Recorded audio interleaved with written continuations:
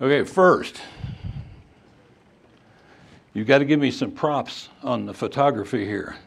So, I mean, it's, uh, it's not Ansel Adams, but uh, there's a real story behind this. I wanted to get this picture, and so uh, it took about an hour to get it on a clammy, cold, drizzly, atypical Southern California night in the pitch black out on our patio. And as I say, it took about an hour, and what I ended up getting out of it were about two good shots and a pissed off wife. Uh, I was the cameraman.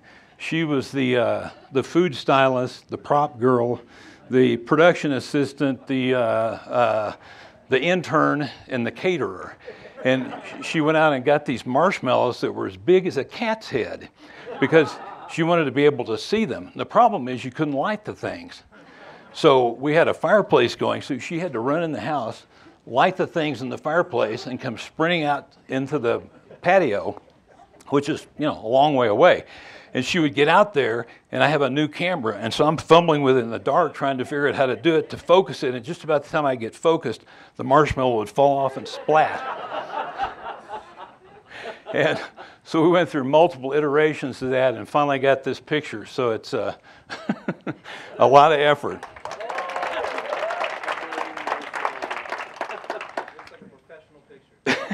Thank you.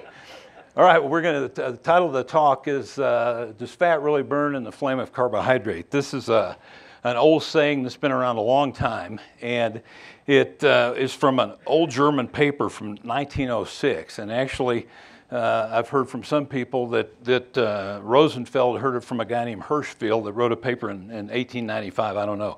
But this is the first time that uh, I know of it's being printed. And uh, Hans Krebs said that this was the first time, so I'll go with Hans. But anyway, you can read it. It's uh, pretty easy to translate. I'm not going to read the German. But it's that it, basically that fat burns in the flame, excuse me, in the flame of carbohydrates. And if you uh, if you look at this, here's how they figured this out back then. They took fat. I'm not sure that they ate a lot of avocados back in 1906, but they took fat and they realized that if they gave people only fat to eat, that they produced ketones. Now back then they couldn't measure beta hydroxybutyrate; they could only measure acetone and acetoacetone, and so it came out that these people were producing uh, ketones in their urine. If they fasted people, they got the same result. And of course, uh, when you're fasting people, they're eating their own fat, so they were on a high fat diet too. And then they discovered that if they added carbohydrates to the mix, that the uh, ketones went away.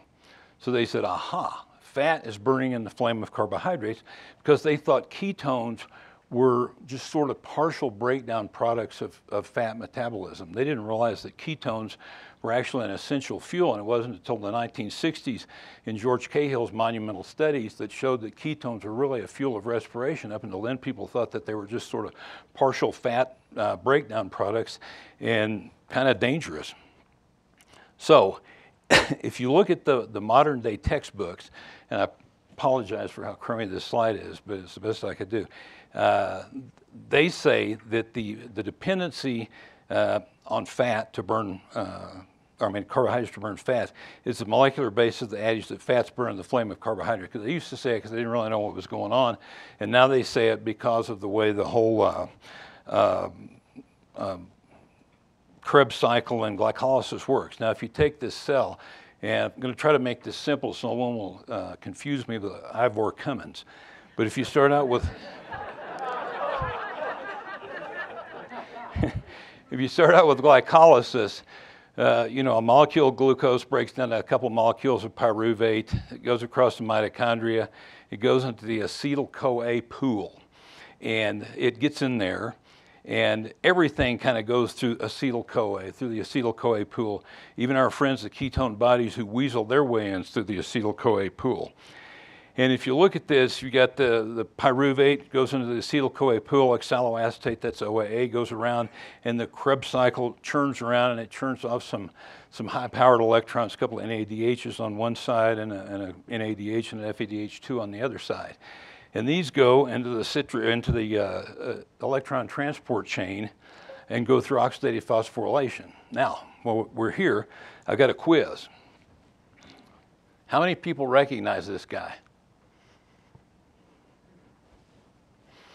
How many people recognize this guy?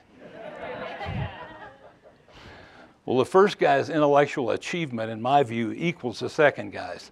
This guy, first guy is Peter Mitchell, and Peter Mitchell's kind of a weird guy. He's an Englishman. He's dead now, but he is the guy that single-handedly elucidated the electron transport chain and, the chemiosmotic theory, which is a, just a hellacious undertaking if you understand this thing.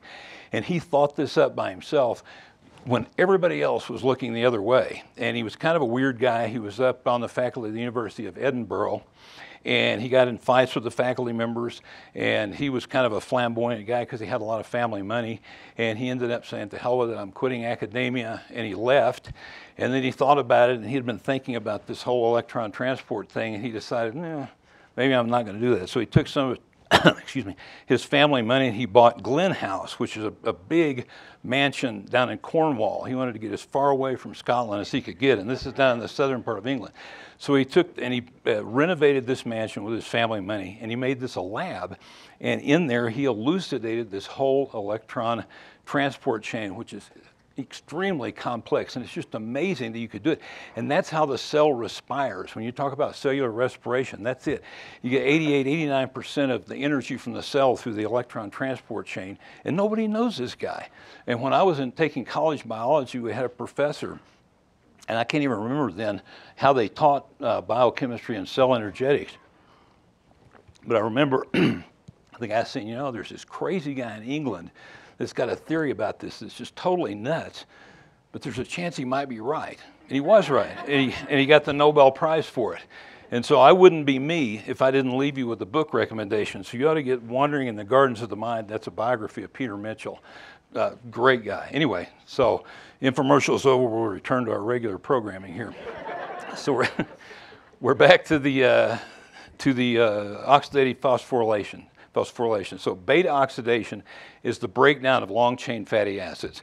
Beta oxidation, go, uh, beta oxidation sends two carbon chunks of fat basically into the acetyl CoA pool. And uh, pyruvate keeps on going. Now, pyruvate can actually jump in and help oxaloacetate a little bit if it needs to. Uh, if oxaloacetate is running low for some reason, and there's some reasons that it can run low because it, it makes other amino acids, and sometimes you need amino acids and it makes them. And those are not just the amino acids from oxaloacetate, but a bunch of other precursors of the Krebs cycle that are before uh, uh, oxaloacetate make amino acids. And if they make amino acids, they're not there to make oxaloacetate. So you can have a, a decrease in the oxaloacetate pool, and pyruvate helps uh, um, take up the slack for that. Okay, now let's say that all the pyruvate goes away and we start with gluconeogenesis because we're on a low carb diet or we're fasting.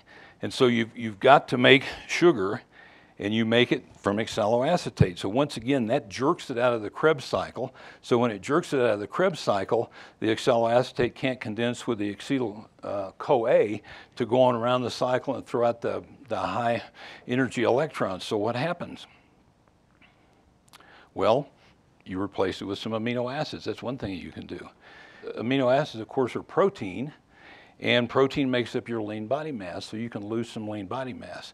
Now, you don't have to worry about this too much if you're eating a protein diet your, or eating protein with your low carb diet because they will replace uh, whatever you're taking for oxaloacetate unless you're really low on protein too, in which case you can have some lean body mass loss. And I'm going to show you this in just a second. Okay, now beta oxidation on a low carb diet, you're mainly burning fat, so you do a lot of beta oxidation. And because you do a lot of beta oxidation, you get a big acetyl CoA pool. And that acetyl CoA pool, a lot of people believe, is sort of the trigger for ketogenesis because you got to do something with it. It can't go into the Krebs cycle, so you got to do something with that, so you end up making ketones. And when you make ketones, we'll get gluconeogenesis out of the way there. When you make ketones, you first make HMG CoA, uh, which is a, an interesting molecule. And the second step is that you make ketones. But HMG CoA is an intermediate step in the synthesis of cholesterol. Okay, and so if you go up there, you can make, uh, if you take this step from HMG CoA to, to mevalonate, uh, and then on to cholesterol, you've made cholesterol with it. And if you uh, are making a lot of ketones, kind of by mass action, you, you run the stuff down the ketone pathway and you don't make as much cholesterol. And that's why a lot of times you'll notice if you have overweight patients and they have uh, hyperlipidemia and you put them on a ketogenic diet, their cholesterol goes down even though they're eating a lot of fat because they're not making as much. And this HMG CoA, the, the place between that and the, uh, the mevalonate, is the place that the statins work. That's uh, that enzyme is HMG coenzyme A reductase, and that's what statins block. So you can kind of do your own statin things if you're making ketones because it, it pulls the ketones down there. Oh, okay. the, every time I every time I did this reviewed this talk, I forgot to bring that up, and that was my carefully encoded uh, message. that you you can go on a you can go on a ketogenic diet, believe it or not, that's all potatoes or all rice as long as the calories are low. If you're not meeting your caloric needs, you're going to end up burning fat and you're going to end up being in ketosis some of the time. So people say that, well, you could never go on a ketogenic diet that was all potatoes, but you really can if you keep the calories down enough. And I'm going to show you a picture a little later of uh, a person that this happened to. Okay. Now, people say, and, and one of the themes of this talk that I forgot to mention, I should have had one of my little drop down things at the start, is I want to talk about how uh, kind of behind the times medical textbooks are. Because that textbook thing that I showed you about the, the fat burning, the flame of carbohydrate, that is from the most recent Berg medical biochemistry textbook. Now, that's the textbook I used when I was in medical school a million years ago, but it was called Stryer then, and he's still on the, the list, but he's at the bottom of the list now. Uh, but it's now Berg, and that's the one that everybody uses. And it's unbelievable how far behind the times it is with a lot of this stuff. I mean, there's so much stuff going on with ketogenesis and ketogenic diets that knowledge is way jumped ahead of the textbooks. But what's really sad is a lot of this stuff was done back in the 50s and 60s and 70s and 80s, and it still is not shown up in the textbooks. This medical textbook has one and a half pages on ketones and ketogenesis and has 12 pages on cholesterol.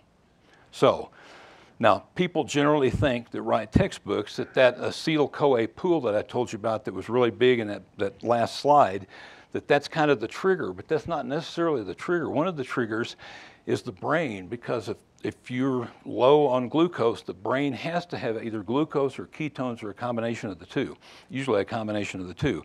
Uh, and so the brain puts in a call for ketones. Now, it puts in the call to the liver because that's where the majority of them are made. And when, when the liver makes ketones, and this also is going to show you why ketogenic diets, people lose weight a little bit more than those. It's not, you know, the calorie is a calorie is a calorie deal. On ketogenic diets, you get more bang for your buck because you get a little bit more weight loss, and that's been shown in a number of studies, and people are are you know trying to deny that all the time. But this is one of the reasons that I think it happens because the brain demands uh, uh, ketones, the liver makes ketones. You get rid of a little of them in the breath and in the appropriately colored urine, but that's a, a minimal amount that you get rid of.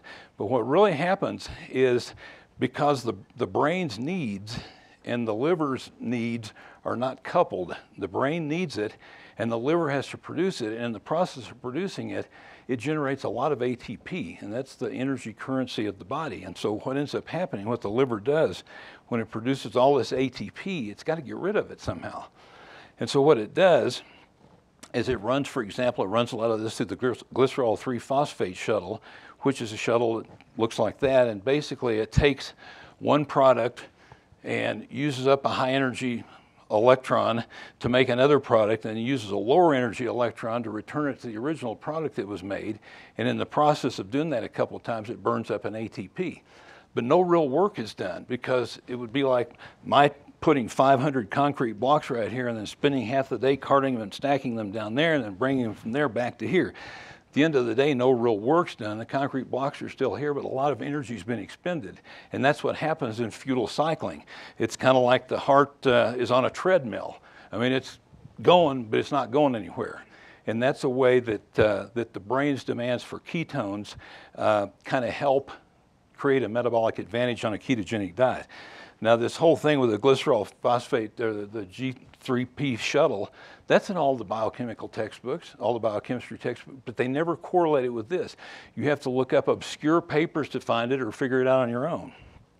Okay, Now, here's my big bugaboo. This is the thing I really want to get to. This is in the very brand new Berg book. It says animals cannot convert fatty acids into glucose. And it says when glycogen stores are low, why can't the body make use of fat stores and convert fatty acids into glucose? Because animals are unable to affect the net synthesis of glucose from fatty acids because acetyl CoA cannot be converted into pyruvate or oxaloacetate in animals. Now, if you've been in biochemistry, I don't want you to get hives when you see this next slide. But this is the, this is the Krebs cycle. And this question that is in that uh, little thing that I just read has tormented biochemistry students for generations. They always ask the question, can you convert fat to glucose? And directly to glucose? And the answer that you're supposed to give is no. Uh, and what the, the thinking is, back to beta oxidation again, the breakdown of fat, it takes two carbon compounds into acetyl-CoA. And if you radio label uh, those carbon compounds and find out where they jump out of the Krebs cycle, you find out that one of them jumps out there and one of them jumps out there. So you can't possibly get those around to oxaloacetate and recreate that. And so the answer is no. You can't feed it in through there and get it there. But is the answer really no? Not really. And I want to switch gears just for a second. These are the fuel reserves, because we'll get back to this other in a minute, but these are the fuel reserves available in a 70, the, the famous 70 kilogram male, Jesus. Uh, the famous 70 kilogram male. Now, this is just a chart, so it's hard to see, but if you look at it uh, graphically like this and you see the blood, there's very little of anything, very little anything in the liver or the brain. The muscle's got a lot of protein that's available for fuel, and the adipose tissue, of course, has got a lot of fat. And if you just look at it broken down by fat, protein, and I mean carbohydrate, fat, and protein, you see this giant wad of fat, and you see the protein, and then you see a very small amount of, of glucose over there. And would it make sense to design a system where this is the fuel, this big giant column of yellow fat, where that's the fuel, and yet you couldn't get to it without destroying your muscle, which is what they say. I mean, Paleolithic man had to have his muscle to chase down musk oxes or whatever. Uh, so you had to be able to convert this to uh, glucose, even if you weren't taking in any glucose. Now, part of this fat is glycerol, and glycerol, when the, when the fats come out of the fat cells, the fatty acids break off, and the glycerol is freed up, and, and the freed up glycerol goes into gluconeogenesis. So that's one way to do it. But there are a couple of other ways, too. In fact, there are a bunch of other ways. But this is a guy that I was telling you about earlier. This is a guy named Sam Legg, and Sam Legg was a conscientious objector in World War II. And he was working for the Civilian Conservation Corps. And he decided that he was going to volunteer to go into Ancel Keys, Minnesota starvation study.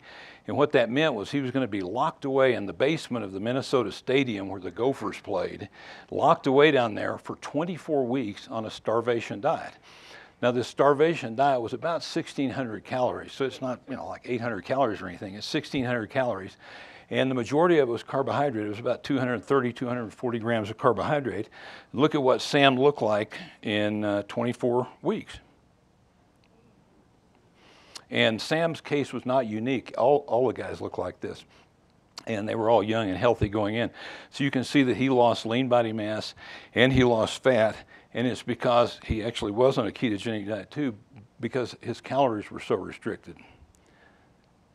So, I apologize for this slide. I couldn't get it big enough. But this is just one way that somebody showed in, in 1986. It's energetically positive. In other words, uh, the things going downhill, you don't have to overcome energy barriers to get from uh, acetoacetate through to acetone, run on down to, run on down to pyruvate, over to oxaloacetate, and back to glucose. And because you can't see it, I kind of wrote it down on the right. But that's just one pathway that you can get from fat because uh, acetoacetate is a, is a ketone. So the fat goes into the acetyl-CoA pool, comes out as a ketone, and then can be regenerated as glucose. Here's a, an article uh, that was 2011 where these guys went through and, and uh, did a computer analysis of all these metabolic pathways, and they found 22 of them that energetically could convert fat to glucose. Here's one that was done in 1979. I like this one because this guy injected radio labeled acetone into, into fasting humans. And what he ends up saying is radioactivity from the C4 acetone was present in plasma, glucose, lipids, and proteins. Glucose synthesis from acetone is possible in humans, which I found that really strange because this was a human study. But anyway, uh, maybe the maybe the peer review made him put it in. I don't know. Anyway, this process could account for 11% of the glucose production rate. 11% of the glucose in these people and some of these subjects came from acetone. So you can definitely do it. This was in 1979, and the textbooks are still saying you can't make it from fat. You can't make it from fat because they're just focusing on that one pathway. Now, you probably didn't want to see that slide again. Uh, but here we are all set up with our ketones, and let's look and see what happens. What happens in actuality. Here's your acetyl-CoA pool. You're making the ketones. Uh, ketones, one of which is acetone. Uh, acetone can convert to oxaloacetate. Acetone can convert to pyruvate. Pyruvate can convert there, and acetone can convert to glucose. So fat and acetone actually can convert to acetyl, can go into acetyl-CoA. So fat burns in the flame of fat too. It burns in the flame of carbohydrate. It burns in the flame of proteins. Remember how we used you saw that the protein got into the Krebs cycle, uh, and and got uh, the protein actually converted to OAA and got into the Krebs cycle. So you could say that fat burns in the flame of amino acids, and now it actually burns in the flame of fat. So, this is what I have to say about the whole thing: is that you know, thank God biochemistry textbooks writers weren't in charge of evolution. or, or we would have been in a world of hurt. And this guy kind of sums it up. This is Nassim Nicholas Taleb, who's got one of my favorite quotes, which is that the three uh, most terrible addictions are heroin, carbohydrates, and a monthly salary. But he has another.